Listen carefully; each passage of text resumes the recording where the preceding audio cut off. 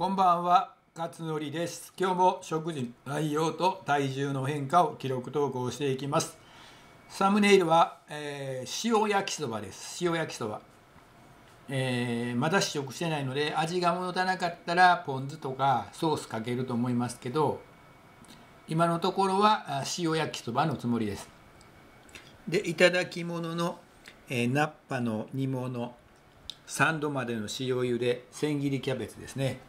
これで足らなければピーナッツ食べますけどできたら食べたくないですね。そんなお腹も減ってないし食べだしたら減るんですけどね。で頭じゃな、まあ、腹じゃなお腹じゃ減ってるんじゃなくて心が減ってるんですね。精神的に減ってたりするんですよ。ピーナッツ食べたいっていう欲望がね。で便通もはしっかりありましたし水分は日曜日にしたようとってる方ですね。でピーナッツ昨日は食べなかったので体重数百グラム減ってます。やっぱピーナッツですよね。体重55.1体重55.1体脂肪率13.4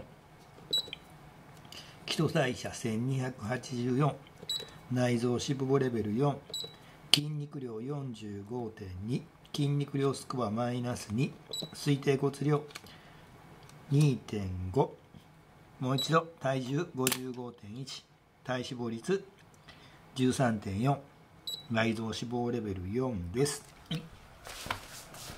サムネイル塩焼きそば、えー、ナッパの煮物三度豆の塩茹で千切りキャベツこれで足らなければ、えー、ピーナッツ食べます。今日はこれで終わりです。ご視聴ありがとうございます